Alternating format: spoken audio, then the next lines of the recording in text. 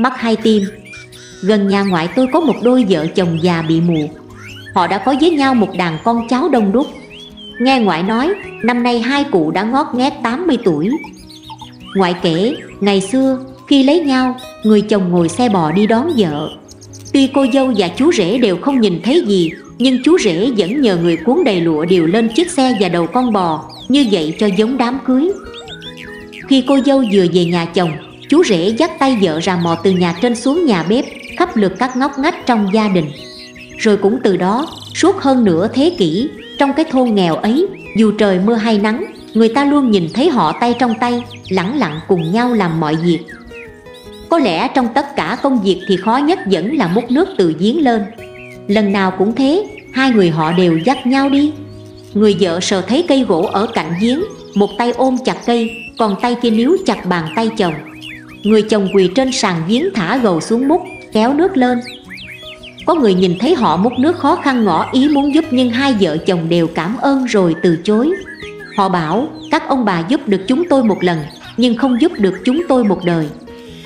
Cứ như thế, Hai vợ chồng luôn tay dắt tay nhau đi lấy nước Cho đến khi đứa con đầu lòng có thể gánh được một gánh nước. Dân làng đều cảm thấy lạ lùng trong thôn cũng có nhiều trai gái trẻ từng vì đất trơn mà trượt chân ngã xuống giếng Nhưng đôi vợ chồng mù chưa lần nào té ngã. Càng lạ lùng hơn Dù không thể nhìn thấy nhưng vợ chồng họ vẫn có thể tìm ra nhau trong đám đông đang nói chuyện ồn ào. Người chồng là một người thổi kèn trong ban nhạc ở thôn quê. Ông thường đến các đám cưới thổi những bài Trăm con chim phượng hoàng, niềm vui đầy nhà. Dù đi thổi kèn ở đâu, ông cũng có một yêu cầu Để người vợ mù của ông đi cùng. Ông nói để vợ ở nhà một mình, ông không an tâm. Mỗi khi tiếng kèn của người chồng cất lên Người vợ ngồi bên rất chăm chú nghe. Dường như những giai điệu ấy đều là ông thổi riêng cho bà. Người ta bảo những lúc ấy Khuôn mặt người vợ mù thường đỏ ửng lên Khiến ai nấy đều cảm thấy người phụ nữ đang ngồi lặng lẽ kia xinh đẹp biết nhường nào. Có lần người chồng sơ ý bị ngã gãy chân. Những ngày chồng nằm bệnh viện Ba bốn hôm liền người vợ không ăn hộp cơm nào vào bụng. Bà bảo, không có bàn tay quen thuộc kia, Bà chẳng còn lòng dạ nào mà ăn.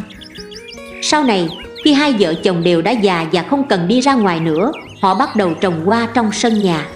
Dù chẳng thể nhìn thấy được những đóa hoa tươi rực rỡ mình trồng lên, Nhưng ông bà đều rất hạnh phúc mỗi khi đến mùa hoa nở. Những người con của ông bà từng hỏi bố mẹ, Nếu ông trời dành cho bố mẹ một cơ hội Liệu bố mẹ có muốn nhìn nhau bằng mắt không? Ông tự hào nói, Dắt tay nhau một đời, Có bao nhiêu đường dân trong lòng bàn tay mẹ con Đều đã in trong trái tim bố. Bố chưa từng trông thấy người đẹp nhất. Trong trái tim bố thì mẹ con là người đẹp hơn cả. Cần mắt để làm gì? Mắt là thứ tham lam nhất trần đời. Nhìn cái gì cũng đánh giá tốt hay xấu, Xinh hay không xinh. Nhìn cái gì hay là muốn có cái đó. Trên mặt người ta có một vết sẹo cũng có thể để trong tim suốt đời. Còn bà thì trả lời Người ta nhìn người bằng mắt Bố mẹ nhìn người bằng trái tim Tim sáng hơn mắt, thật. Bởi chúng ta có mắt Nên khi chúng ta nhìn người Chỉ dựa vào mắt mà quên dùng trái tim.